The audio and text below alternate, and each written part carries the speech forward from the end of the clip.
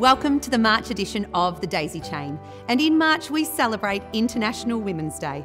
Amongst many other activities, we celebrate it by wearing a touch of purple. But it is only fitting that for this edition, I hand over to the young women of our community.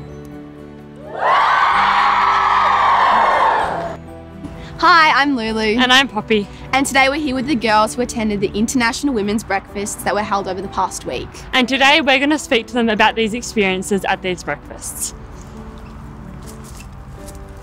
So, Maddie, what breakfast did you attend? Well, Alexis and I attended the International Women's Day breakfast in Mornington that was hosted by the Frankston and Mount Eliza Rotary Clubs. And Maddie, what was the most inspiring thing you took away from the breakfast? I really loved like learning how these women were able to take nothing and turn them into startups and their own businesses and um, not-for-profit charities. And it was just really inspiring to see what these women could do all, the, all by themselves. Oh, and Alexis, what does International Women's Day mean to you?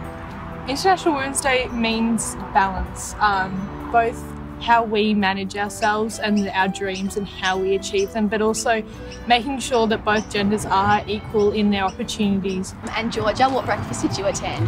I attended the Australian Defence Force International Women's Day Monty.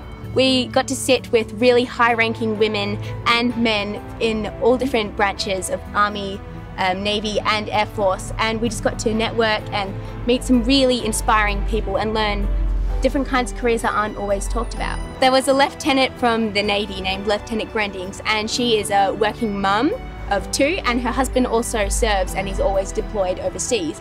And she gave a great message about how it's never too late to stop growing and to stop learning. And she's managed to raise her children and live such a successful life. She's so high ranked and so it was just so amazing to see that this kind of change exists in, you know, the eras that we exist into yeah. and we can be a part of it as well. Exactly, that's great. That's great. So uh, Alessandra and Ivy, what breakfast did you attend? Um, so Ivy and I, we attended the International Women's Day breakfast run by the Women in Rotary at Crown in Melbourne. Yep. And Ivy, was there any sort of message that you particularly took away from any part of this breakfast? I feel so inspired when the past president said, change will not come if we wait for some other person or some other time. Yeah. And we are the one we are waiting for, and I believe we all have the skill, and our skill can make a huge difference. So true. And what does International Women's Day mean to you? Um, to me, it's like really inspiring to see so many women do so many different things. And we've all gone to different breakfasts and seen different women in different um, jobs and careers. And I think that's really cool for us to see our kind of future and where we can head towards after school. Good. Thank you so much, girls, for sharing your experiences today. We've learned a lot and it all sounded like you had a great time.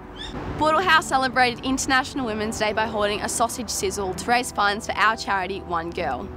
We were lucky enough to have Sarah from One Girl come to our SRC meeting to interview her. And today we're here with Sarah from One Girl to talk about our charity initiative for this year. So, Sarah, would you like to tell us a little bit about One Girl?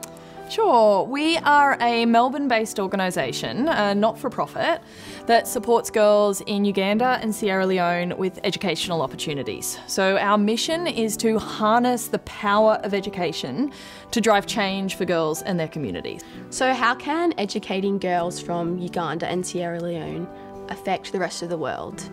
So, it's pretty remarkable what happens when you get a girl in school.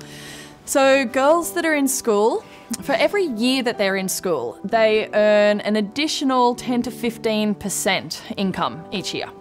So girls that are in school, they when they get an education, their children are more likely to be healthier and to get an education themselves. So girls that get educated, they're going to send their children to school and those kids will go to school. So you're creating this generational change.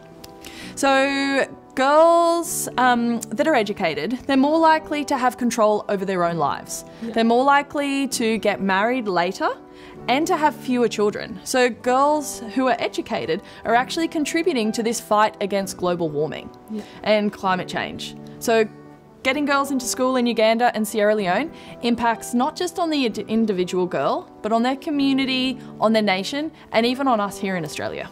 Yeah, and what does what can we do as students at Toorak past the our fundraising efforts? What can we do on a more of an outside of school basis to help one girl?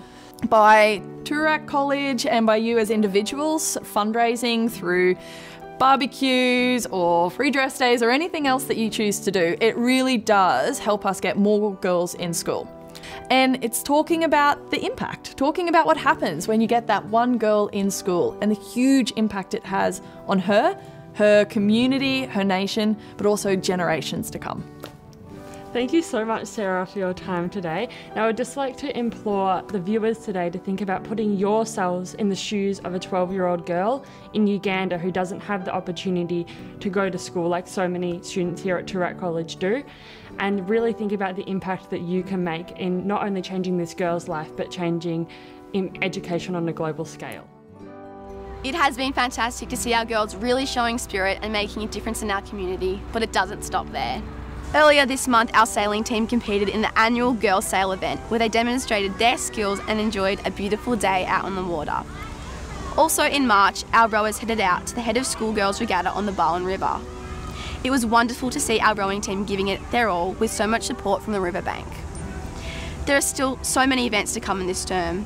Our musical performers will embrace the opportunity to take the stage in the upcoming soiree on Tuesday the 26th of March and will once again entertain us with autumn music concert on Thursday the 4th of April. Wattle House families will enjoy an opportunity to come together on Friday the 29th of March. Bring your picnic and get involved in some fun family activities. A selection of food will be available on the night. We hope you've enjoyed this special edition of the Daisy Chain. We'll be handing it back to Mrs. Kendall, who will be hosting next month's Daisy Chain. Thank you.